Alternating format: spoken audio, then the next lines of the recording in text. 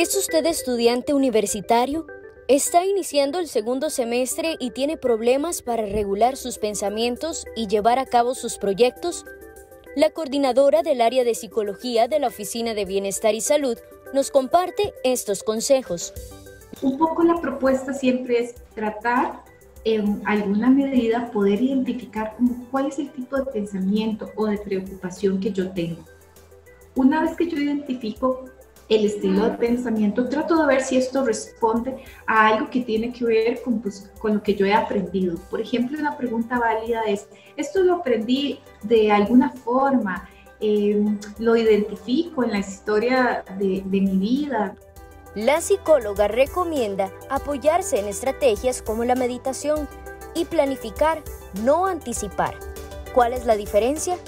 Un tema es la planificación y otro tema es la anticipación.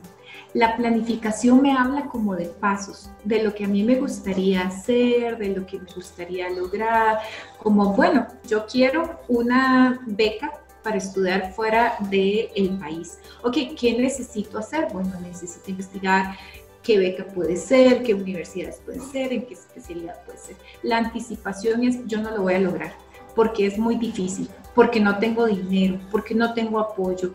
Para acompañar a los estudiantes en este y otros temas, la OBS creó un taller llamado Mi mente no se apaga, en el cual se pretende dotar a los estudiantes de herramientas para regular sus pensamientos.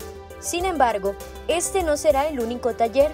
La OBS tiene planificado realizar otros sobre la ansiedad, las emociones y los síntomas depresivos muchas veces nos ayuda el conversar con alguien que evidentemente pues sea una persona de nuestra confianza, que a veces nos puede dar una perspectiva diferente o nos puede dar ideas de cómo consultar o con quién consultar.